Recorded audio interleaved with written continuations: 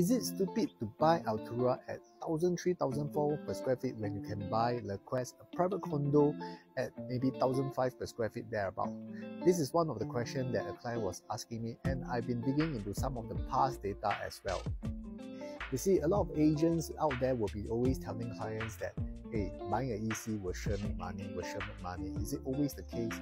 And I do a reference check to these past three condos, namely Sol Acres, the views, and Topiary. And this is what I found out. You see, back then in 2013 H2O, this is a private condo, relatively new one.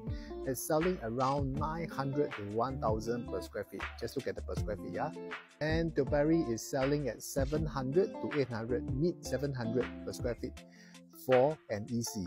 So at the point of time, people who are buying Tupari will be asking the same question. Hey, H2O is better located nearer to a LRT station as compared to Topiary and it's only a difference of 150 to 200 per square feet.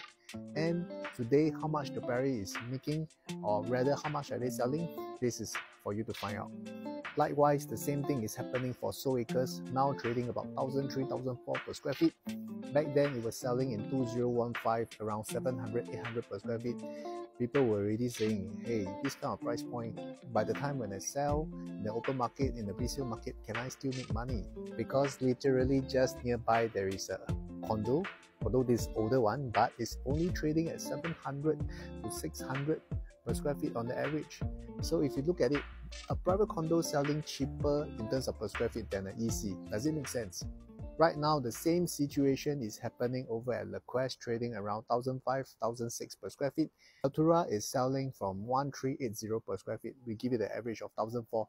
Just a top up about $200 per square feet, you can get Le Quest, which is a mixed development. How will it perform in 2033 or 2032?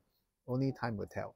Same thing happening in Sengkang. This is the Vales Last time 2015 trading at 700 800 per square feet. Compass Height integrated development, a condo just above the MRT station, also in Sengkang area. Just a top up of $100, $200, you can buy Compass Height. Once again, I think the answer is clear and the Altura EC is really for someone that is a privileged position whereby you're still able to qualify for the eligibility. I would strongly encourage you to go for it. If you wish to find out more about in-depth analysis of Altura and also wondering whether you are eligible for EC, please feel free to connect with me. Cheers.